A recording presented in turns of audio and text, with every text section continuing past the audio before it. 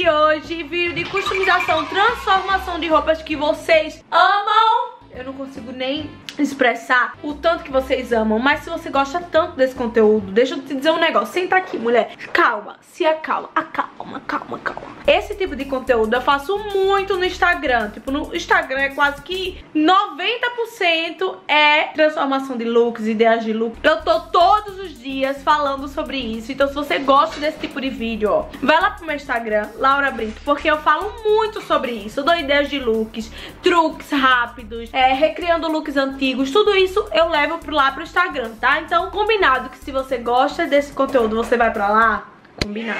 Combinado é combinado, hein, gente? Mas hoje eu vou trazer aqui uma transformação, na verdade, uma customização de um vestido gringo que eu vi. Eu disse, eu, eu preciso, preciso, desse, vestido. vestido. Claro, obviamente que a gente não precisa dessas coisas, né, gente? A gente precisa comer, dormir, ter um teto. Mas eu preciso desse vestido, tipo assim, ele é perfeito perfeito. Vou mostrar pra vocês, pra vocês entenderem a perfeição desse vestido. Olha esse vestido. Meu Deus do céu. Muito perfeito, gente. Gente, olha esse vestido. Não é perfeito? Nossa, ele Agora eu vou lutar, porque meu corpo não é igual dela, mas eu não tô nem aí. Olha isso aqui, gente. Então eu olhei, na hora que eu olhei, eu disse, posso, posso fazer. fazer. Vai ficar legal? Não sei se vai ficar legal, mas que eu posso fazer, eu posso fazer. O que eu tô achando é que é muito fácil, mas eu não sei se é tão fácil assim. Vamos lá! Estou aqui onde a gente vai transformar esse moletom. Esse moletom, ele é um moletom de vestido, ó. Tipo, não é que ele seja um vestido, ele é uma camisa. Porém, ele fica bem comprido em mim. Ó, ele fica parecendo um vestido. E a gente vai usar ele, ó. Moletom preto básico. Aí eu peguei dois cadastros por quê? Porque no vestido dessa menina, dessa gringa, tem uma amarração aqui em cima e uma amarração embaixo. Aí eu peguei cola de tecido, um pedaço de tecido e tesoura. Primeira coisa que a gente vai fazer é marcar onde a gente vai cortar. Ó, eu vou marcar palmo aberto e um palmo fechado. Isso aqui. É o tamanho que eu vou cortar. E aí você mede onde você vai cortar no meio da barriga. Quando terminar aqui a parte do peito, você passa um corte reto. Agora eu vou tirar pra fazer esse corte pra vocês. Só um minuto.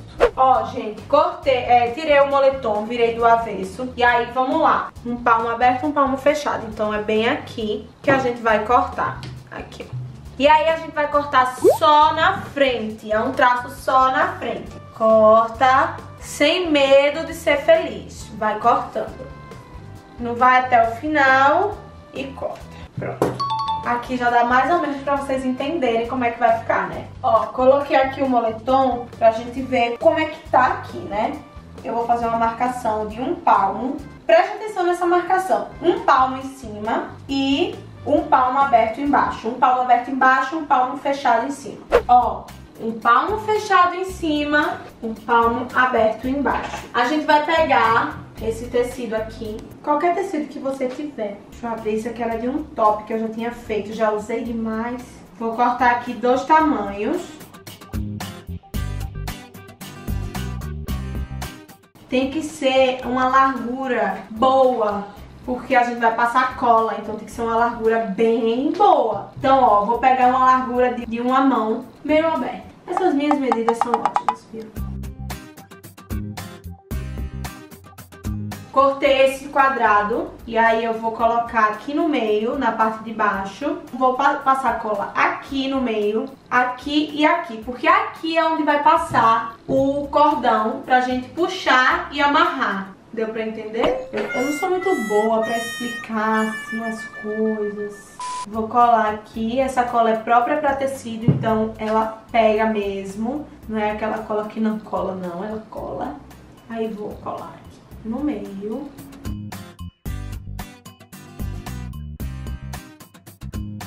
E cola aqui nessa bordinha, no final.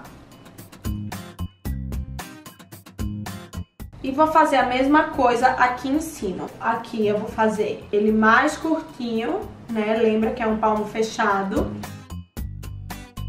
E agora vou fazer a mesma coisa. Vou passar a cola aqui dobra no meio, passa cola.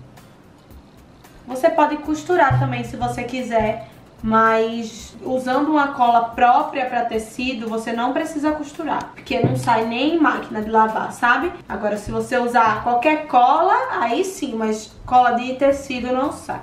A dinâmica é, pega o cordão, passa aqui por baixo, volta com ele aqui, pega ele aqui do lado, ó. E aí, a gente vai fazer isso aqui, ó.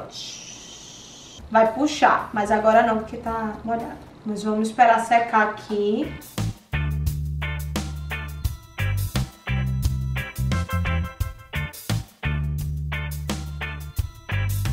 A diferença de cima para baixo é essa. Só os dois cordões ficam para dentro. Fica desse jeito aqui, ó que a gente vai puxar isso aqui e vai franzir. Paulo tá com a cara que não tá entendendo nada. Não, tô, tô entendendo.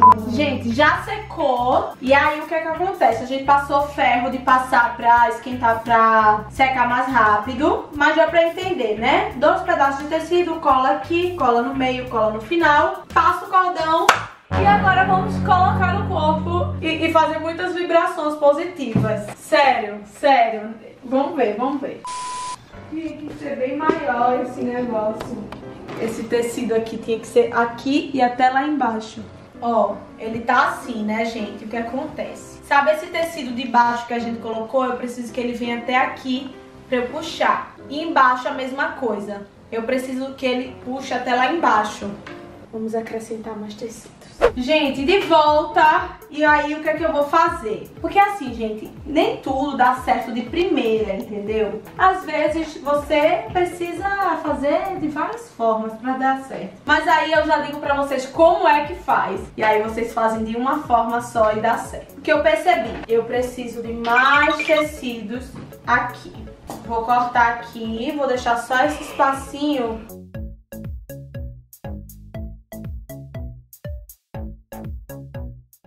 precisar colar mais esses dois pedaços para dar certo.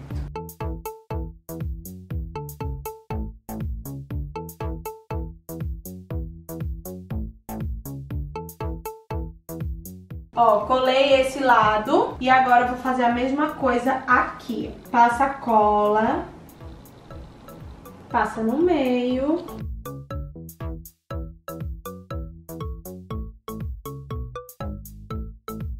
Espera secar ou então passa ferro pra secar mais rápido. Agora eu vou colocar o ferro pra grudar bem, essa cola secar mais rápido. Muito cuidado, crianças. E pra quem tá achando que não vai dar certo, sinto lhe dizer, vai dar, já deu certo. No final tudo dá certo, vocês vão ver. Eu não sei se vai dar certo. Agora, ó, vou pegar novamente o cadastro. Vou começar a passando daqui de cima aqui, passo aqui, vou passar aqui, passo aqui, cordão de baixo, ok, vamos pro cordão de cima. Temos aqui dois cadastros. Vamos provar agora e mostrar pra vocês se deu certo ou não. Recapitulando, é muito fácil. Faz um corte, coloca um tecido colado no avesso, tá, gente? A gente tá usando o avesso do moletom. O moletom, ele é grossinho, então a gente faz essa colagem aqui de tecido na parte de trás do moletom, não dá pra ver nada aqui, olha, o acabamento não fica feio. Vou provar. Pode? I wanna run. Oh no. Calma aí. Quem é ousada, né? Porque tá, é assim. O dela é assim, só que é mais arrochado, mas é assim. Se arrochar, fica ótimo. O dela mostra mais o corpo nessa lateral. Pra mostrar o corpo nessa lateral, deixei um cadastro aqui de onde vai sair. O que é que eu fiz aqui? Coloquei Acho que visualmente já deu uma melhorada. Deu certo! Eu não disse a vocês que no final dava certo? Deu certo, porque o que acontece? Realmente eu errei um ponto. Eu cortei muito pra cima. Isso aqui aí, tipo, não era pra estar tá parecendo um sutiã. Só que esse moletom não é tão comprido. Então se eu cortasse mais pra baixo, ia ficar menor a saia. E aí não ia dar pra eu usar. Mas aí o que, que eu fiz, gente? No final das contas, eu passei por dentro esse cordão aqui, ó. Deixa eu mostrar pra vocês. Esse aqui ficou desse jeito. Aí você pega um cordão, você bota aqui, ó, o cordão, passa por dentro e você amarra aqui. Aí você regula, porque o que acontece? O moletom, ele é muito largo. Moletom ele já é largo. Se você fizer com uma camisa de manga comprida, talvez você não precise ajustar aqui. Então essa foi uma forma que eu vi de ajustar. Fica super bonito aqui, não fica feio. E assim fica. Você usa com top preto. Coloquei aqui, ó, o cordão passando por dentro pra dar uma amarrada aqui. Mas enfim, olha como ficou. Ah, eu gostei. Na inspiração, na verdade, é uma inspiração, né, gente? Amor, olha, olha o que eu fiz. O que foi? Tem uma armadilha aqui. Não, olha lá. Olha a roupa que eu fiz. Tá em mim. Ah, ah. Olha a inspiração. Tu gostou? Gostei. Olha aqui a inspiração. Tá parecido? Ah. Tá parecido? Tá vendo, gente? Tá parecido. Vou lhe mostrar. Tava assim, ó. Foi assim que a gente recebeu, entendeu? Aí pega o cordão e amarra aqui atrás. Ah, é.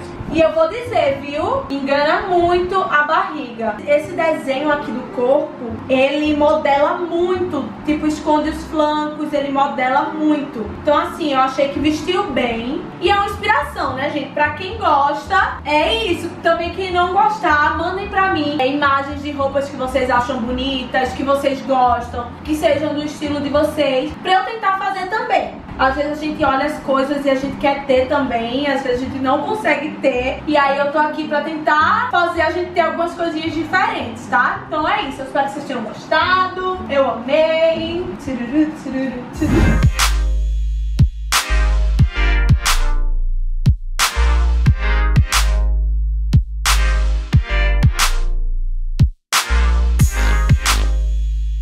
Olha, gente, deixa eu mostrar pra vocês aqui como fica. Fica bem gringa mesmo. Bem a inspiração, né? Ó. Aí eu amei, de verdade. Eu amei. E é isso, gente. Tá aqui a foto da inspiração e a minha foto pra vocês compararem. Pra ver se não ficou bonito, se não ficou parecido. E eu espero que vocês tenham gostado. Foi como eu falei, né? É, nem sempre eu tive tudo que tava na moda e tudo que eu via foto bonita e tal. E às vezes eu queria muito. Então, por isso que eu sempre, sempre, sempre vou tentar fazer as roupas que estão na moda, que vocês gostam. Pra que na casa de vocês, vocês façam também. E consigam gravar seus vídeos, brincar, colocar uma roupa diferente se sentir estilosa, tudo isso, tá? Um beijo, espero que vocês tenham gostado desse vídeo. Se você gostou, clique em gostei, se inscreve aqui no canal. E se você achou fácil, comenta aqui, porque no final é fácil. É porque eu fui tentando fazer junto com vocês. Um beijo e até a próxima. Tchau!